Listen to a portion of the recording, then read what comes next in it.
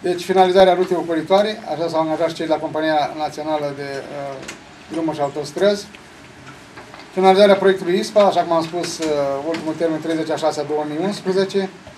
Realizarea de parcaje subterane, modernizarea de străzi și parcuri prin proiectul Program Operațional Regional, modernizarea iluminatului public la bulevardul principal la intrarea municipiului Suceava până la ieșirea spre Burdujeni, spre Botoșani, Centrul Tradițiilor Populare, care la fel este program operațional regional, care va fi construit lângă Patinoar, Centrul Cultural Bucovina, la care se lucrează, este vorba de reabilitarea, modernizarea cinematografului modern într-un centru cultural la nivel de județ, finalizarea reparațiilor la podul la Burdujeni, o sală polivalentă, dorim foarte mult, avem, lucrăm la proiect în acest moment, sperăm să putem prinde ceva finanțări de la guvern.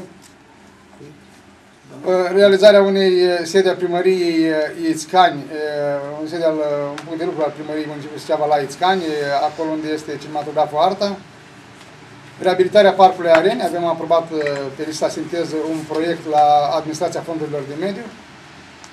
Amenajare zonul de agrement, strada Parcului, la fel, sigur că am început de anul trecut sau din acest an, se lucrează în continuare la proiect, studii de fezabilitate, indicatori.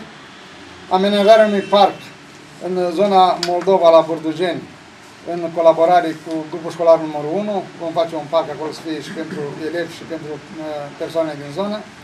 Amenajarea cimitirului la Ițcani, consolidarea dealului Teodoreni, să știe că sunt mari alunecări de teren, consolidarea dealului Filadelfia în zona Zamca, și finalizarea utilităților pe dealul mănăstirii. Sunt uh, câteva din obiective sau cele mai importante obiective de investiții pe care le vom prinde în anul 2011. Așa cum am spus, anul 2011 va fi în continuare un an al dezvoltării, al investițiilor în Suceava.